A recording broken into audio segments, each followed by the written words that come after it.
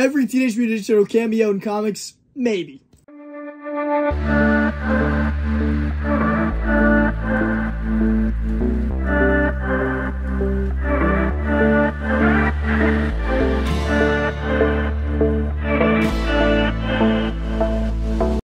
Follow me here on Facebook and Instagram for more daily content. More of that at the end. Of course, drop a like and subscribe to the channel. But we're going to drop in and talk about basically what I made up is a list of what I think is all the Teenage Mutant Ninja Turtles cameos over the years in different comics, stuff like that. I'm not going to include here the main titles or their spin-off series. stuff like, you know, Turtle Mania or Body Count or Turtle Soup where the main characters in the book are actually the Turtles. Uh, and I'm also not going to talk about stuff like Casey Jones where Casey Jones is specifically a Turtles character. It doesn't exist outside of the Turtles universe. Uh, but I will talk about stuff like Usagi Yojimbo or Fugitoid, which are sort of in-universe stuff, but the Turtles aren't as important to characters as they are to Casey Jones. But we'll jump into, I've got a lot of books to talk about, so I kind of, we'll, we'll, speed run through it. I've done a couple of these character breakdowns in the past. Uh, I, did a Silver Surfer one. I have a Bizarro one that's going to be coming out. Um, so I figure this is kind of like that, but a little bit different when I'm talking about more individual books, uh, kind of like I do in, that, in the series. But this is under more of a different umbrella than just appearances and main appearances and, and story arcs, stuff like that. This is all Turtles cameos that I could find or that I could remember off top, um, basically over the years. So we're going to jump into, they're sort of in order for release uh, date, but I don't think it's an exact order. But uh, we'll jump into Usagi Yojimbo number one by Mirage Studios, which begins the Turtles arc, which goes all the way through issue three, where they actually make the cover uh, but issue one, two, and three all have uh, uh, all are part of this Turtles arc. But then we jump over to the Flaming Carrot number 27 with this classic Todd McFarlane cover featuring the Teenage Mutant Ninja Turtles and Flaming Carrot. Uh, this is a book I remember getting hot pre-COVID. Um, but it's just, it's a great cover and it's a cool book to keep an eye out for, especially in the cheap ins.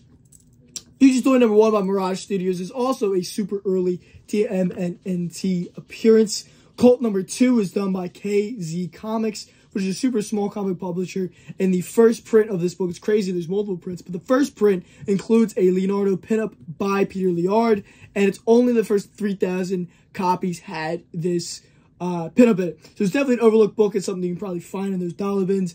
It's just kind of, it's a neat thing.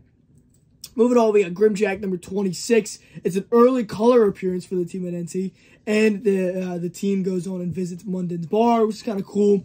And uh, the turtle story was illustrated by Eastman and Laird, the, who I will call the uh, the duo throughout this episode.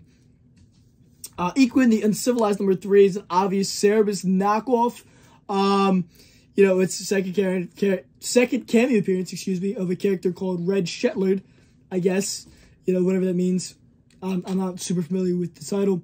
Tweet your own. But there is a one panel cameo of two of the four turtles, and there's also a Smurf being what we'll call emasculated in this book. So it's one of those books that's more like poking fun at the industry and stuff like that. Just a weird thing. Anything goes number five, the road trip five page story uh, about the TMNT, I think is also done by the duo. Uh, and it's got this great cover and a four, also has a four page Crumb story. And this series is kind of cool. It was published uh, to fund defense money in a lawsuit uh, against Comic Journal uh, over writer. It's a whole long story. But it's kind of a neat, neat book uh, with, a, with a cool bit of history behind it.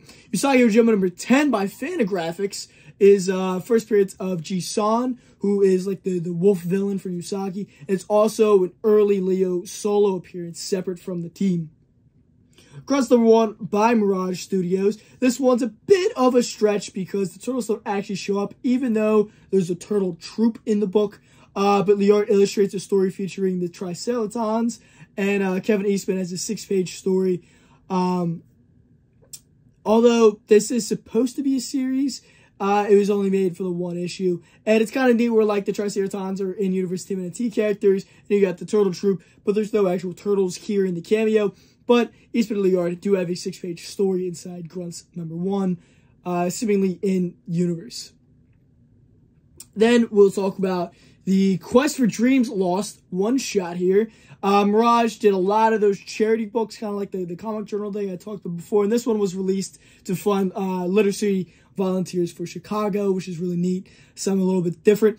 And uh, in this issue, there's a small story by Eastman and Laird, uh, which features the Turtles alongside other stories uh, featuring Troll Lords characters and Wordsmith and stuff like that. So it's kind of a cool thing. Again, a lot of these are going to be dollar bin finds. Uh, some of them are low print runs and, and just random indie books over the years. Like Puma Blues, uh, number 20. It's got a backup story featuring a future Raph. Uh, basically, um, it's it's done by the duo, and it kind of was made to ma match the current Mirage continuity because they were doing that like future Turtles story, kind of similar to like the what they did uh, as recently with the Turtles with uh, the Last Ronin and the Lost Years and all that kind of stuff. That's finally coming out now. Then we have an interesting book, Pal uh, Palestron Cafe, I think is how you pronounce it, 1 through 4 is a four-issue anthology series, and every issue has a TMNT story. And 1 to 4 has Casey Jones backups that are later colorized and put into Casey Jones number 1. Uh, part 4 was published uh, to Casey Jones number 2, and the uh, Palestron Cafe title was canceled, and it was supposed to be an ongoing, I believe, but it's canceled. And the leftover Casey Jones story would become uh, the self-titled series later on, issues five and six being added to Casey Jones number two, which is kind of neat. Uh, they still had the unfinished story that they were to colorize and publish in the Casey Jones series. Digital Webbing number 24 has a Team and NT short story that uh, is included in this issue along with that awesome cover. Hero Comics 2012, an IDW one-shot, uh, which has stories including the TMNT. Uh, some of the best creators come together to put this book out. And again, it's another one that funds a, uh, a, a, cause. This one being the Heroes Initiative, which is uh, something that's deeply rooted in the comic industry and heavily pushed by guys like George Perez. Then we have the CBS Action Zone number one, which I see in developments all the time, which kind of cool. Things got this Jim Lee cover. The uh, CBS one shot includes the Turtles, the Wildcats, and the Skeleton Warriors, which is pretty cool. So it's it's cool book to keep an eye out for. Four low, or four low, four low, I think so. I don't know. Something like that. 47, 48, and 52. The Archie crew adds backup stories to an ongoing Antarctic uh, press title about other anthropomorphic animals. And uh, somewhere's in this uh, and then those issues with Turtles backups, I believe, and stuff like that. Sonic Hedgehog number 10 by Archie Comics. Uh, has the Turtle team make a little cameo appearance in this one panel, popping in the wrong sewers and the wrong comic. Preteen Dirty, uh, Preteen Dirty Geen Kung Fu Kangaroos. I think I, I, I miswrote I think it's Dirty Green, but whatever. Either way, it's one of those obvious Turtles parodies, and uh, they do have a cameo of the Bandana Heroes in this issue. Uh, and there was a ton of these parodies, like uh, Gangrene, uh, Jujitsu Gerbils, Adolescent Black Belt Hamsters, and there's a ton of them. I'll dedicate this spot to all the all these issues. I'm sure the Turtles made unofficial cameos in all of them because again, they're all you know parodies of the Turtles. So we'll dedicate this spot to all those different books. They're kind of some of them kind of cool.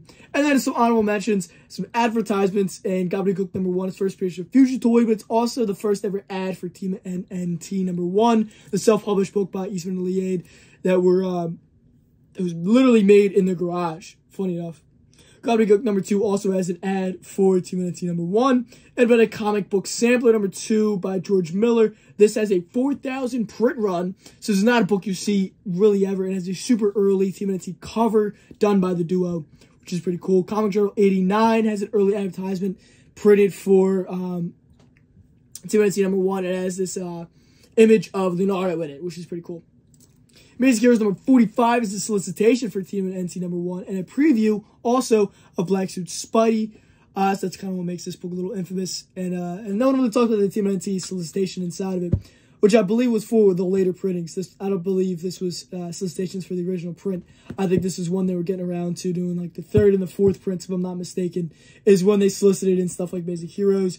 Comic Collector Magazine number 6 is the first depict, uh, depiction of NT in color. I can't find any evidence of this other than Key Collector saying so. Uh, but is that true? Very possibly, maybe. New Age number one by Fantagraphics is the first color image of TMNT used as advertisement. Uh, and also Toy is with them in this awesome image. Comics interview number 27, Eastman and Laird have a Turtles cover on this one, and there's an interview of the duo on the inside. And I think I can round everything off with the collected Gizmo number one. It is a one shot, and I believe um, there, it's actually a trade of all six issues in the Gizmo series by Mirage, if I'm not mistaken. But apparently, this has a TMNT connection.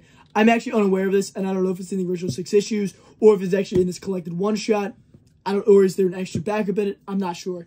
I've never read it myself, and I, I saw it on uh, some articles I was reading doing research for this video, but I couldn't figure out what the connection to TMNT was. But let me know down below if you have any of these books. If you think I missed any, let me know because I very well might have. Um, I did I did a good amount of research into this book into this video. I am semi confident in my list, but I don't know. Let me know down below if I missed any, if any of these you have, any of these you haven't heard of before, all kinds of stuff like that. And of course, follow me here on Facebook, Instagram, and YouTube. I drop stuff throughout the week on the channel, on both uh, social media accounts, and then, of course, the Facebook group Fandoms Unleashed, where there's daily discussions, posts about me, from me, other people, you know, different comic books, all kinds of stuff like that. So that's all like that in the description. I hope you all enjoyed. Let me know what characters you want to see me break down next. If you want to see me do something more like this, where I talk about like cameos and, and stuff like that, or if you'd rather me just go more like a Silver Surfer video where I talk about a specific character and, and their key issues over the years. I believe Bizarro is the next one I'm going to do. But uh, let me know down below which ones you want to see me tackle. And until next time, peace.